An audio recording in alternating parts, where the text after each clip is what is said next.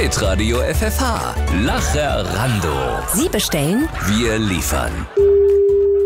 Hallo, hier ist Marike Levin. Hallo, hier ist der Boris von Lacherando. Hallo. Du hast uns geschrieben, dass du Witze liebst. Ja, weil man, wenn man manchmal sonst nichts zu lachen hat, dann einfach schmunzeln kann und denken, ach, die Dinge nicht so ernst zu nehmen, die sonst so ernst scheinen. Okay, dann habe ich ein paar für dich. Achtung. Jawohl. Ein Vater geht mit seinem Sohn durch die Fußgängerzone. Plötzlich winkt der Junge einem wildfremden Mann.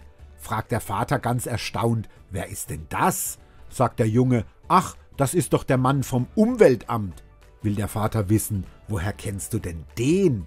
Sagt der Junge, na, der kommt doch jeden Morgen immer zu uns nach Hause, wenn du zur Arbeit gefahren bist und fragt Mama, ob die Luft rein ist. Huiuiui.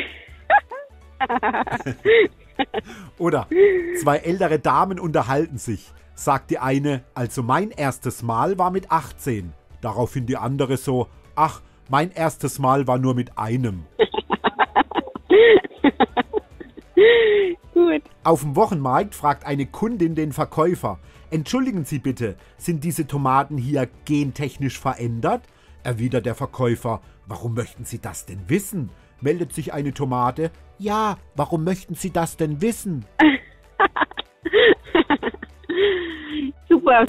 Sie bestellen, wir liefern. Lacherando. Nur bei Hitradio FFH. Jetzt als Podcast abonnieren. Bei uns im Web und in der App.